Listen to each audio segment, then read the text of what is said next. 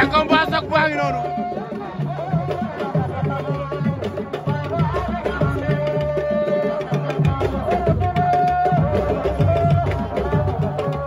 aca jolaay da nga sant jonwar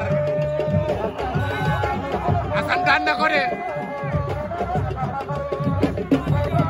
a sant soti na ko baa ba daan ko